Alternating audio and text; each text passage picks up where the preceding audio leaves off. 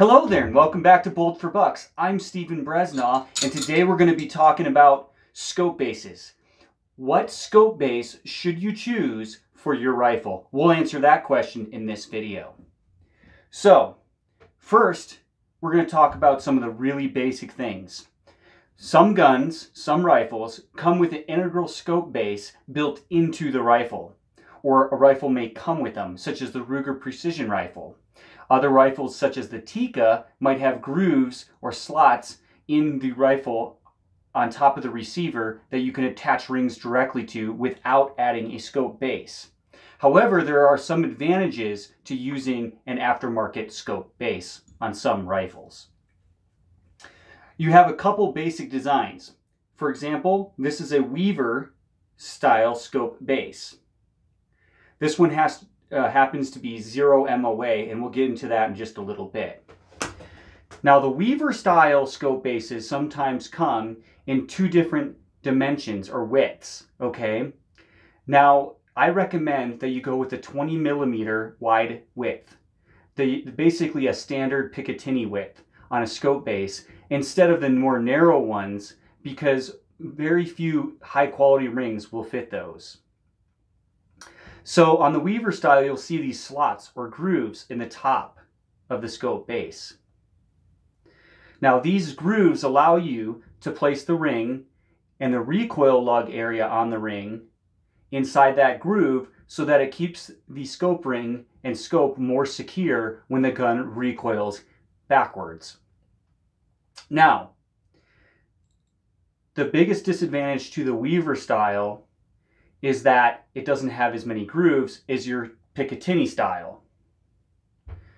This is kind of a hybrid uh, design where it's a little bit of a Weaver and uh, Picatinny mix. Um, some uh, true Picatinny rails or bases will have uh, solid metal between uh, both sides here, whereas this you can see the middle does not have a groove, it just empties out. Now that does allow this to be lighter if you want a lighter uh, rifle package than the full uh, raised area between each groove.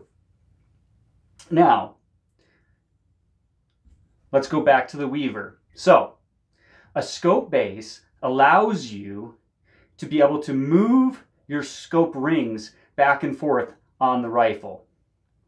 And what this can allow you to do, let me get this in focus better here. What this can allow you to do is adjust your scope and therefore your eye relief better to get it right in that sweet spot so that when you're behind the rifle, you don't have your scope too far forward or too far backwards so that um, you can't get a good sight picture.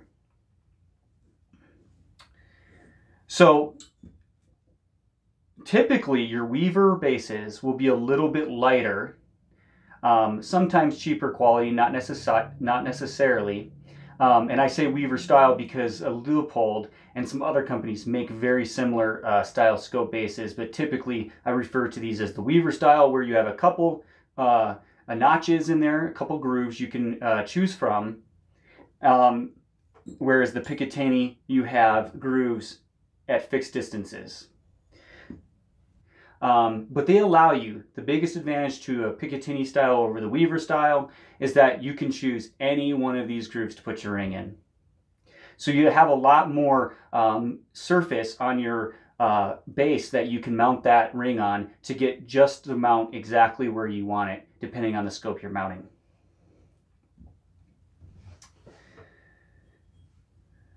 When you're looking at scope bases, you also want to look at the type of screw.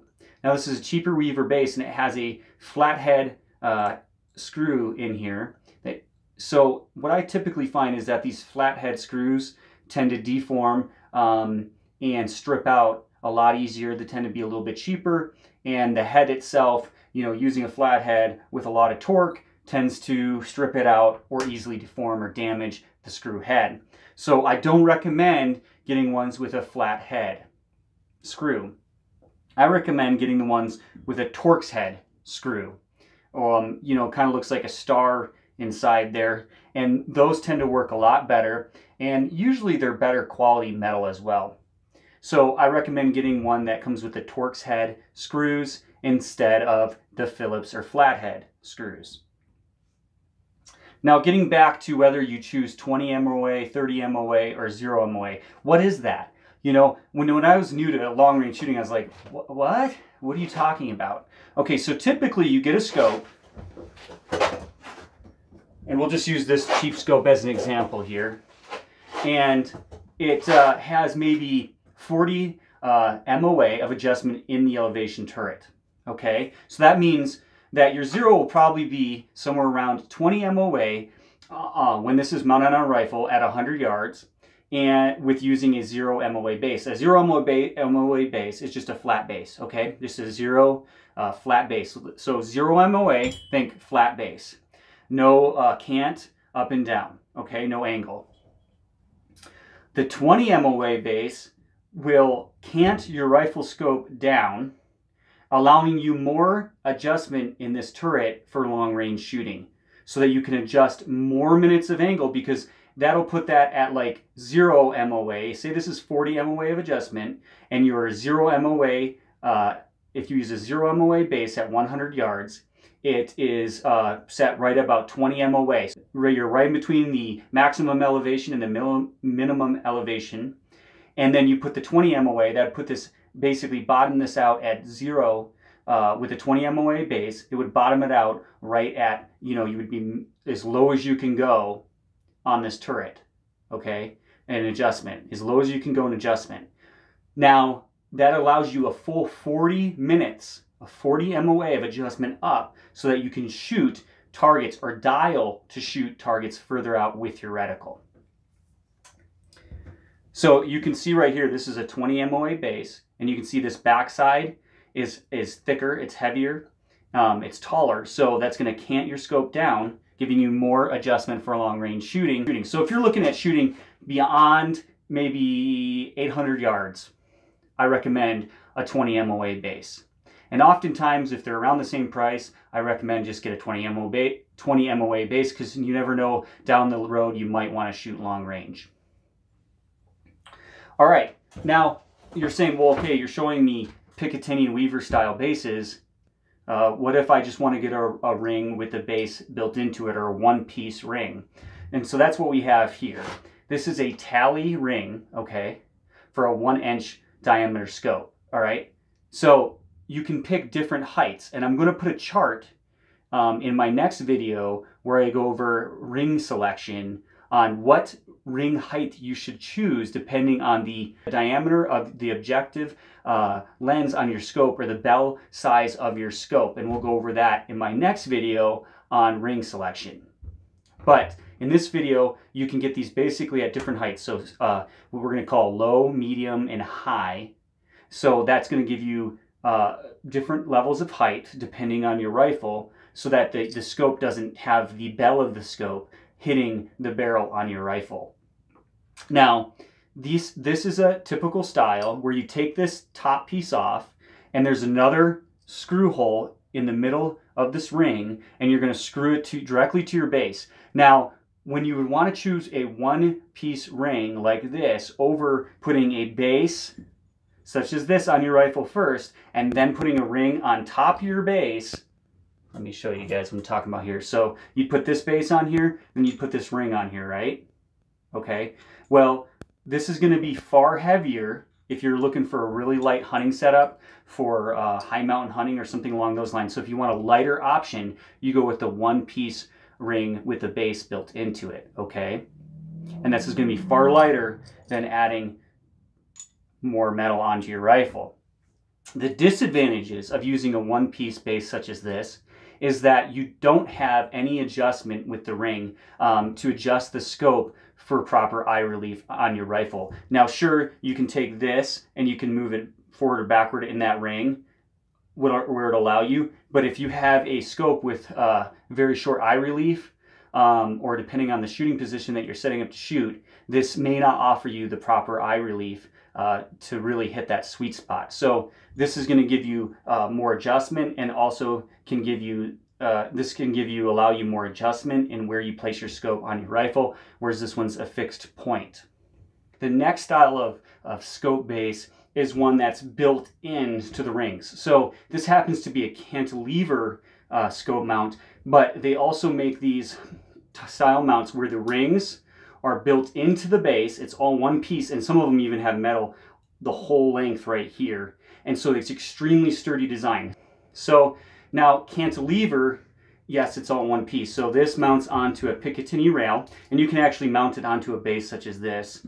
Um, or uh, usually these are used on AR style platforms, and they are used because usually you're using a scope with a long eye relief and you mount on an AR you want that scope mounted farther forward because the way the rifle's designed it would be too close to your eyes um, if you used regular rings. So they make these cantilever they make these cantilever scope bases and they are pointed this direction so let's say the muzzle's pointed that direction that's how the cantilever mount's supposed to be pointed is in that direction and that allows your scope to be mounted further this direction, further forward, so that you get proper eye relief on an AR platform.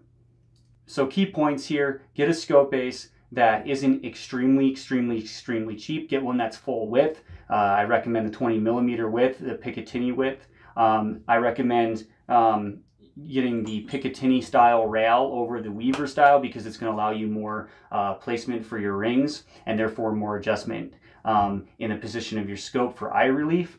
Um, I also recommend getting something that is high quality. And if you are ever planning on going long range, just go ahead and get the 20 MOA base over the zero MOA base to begin with. Now they do sell bases that are 30 MOA.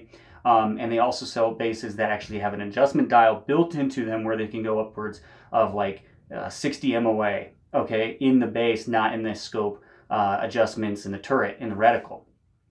So um, those are usually the ones that adjust um, and have a dial built in the base are extremely expensive. They're made for ELR shooting, extreme long ranges, like over a mile. Okay, um, if you're looking at shooting a mile, probably get a 30 MOA base. If you're looking at shooting, you know, up to 1400, 1500 yards, depending on the caliber, just get a 20, uh, 20 MOA base.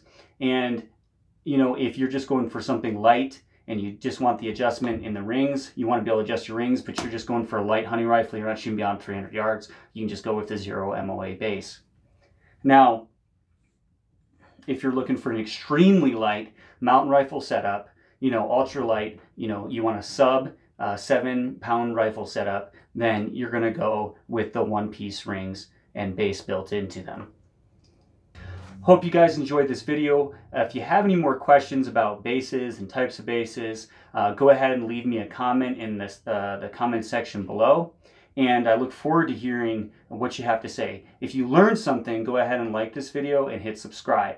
Now, one thing, tip just at the very end, always use the blue Loctite on your scope base screws. Hope you enjoyed this.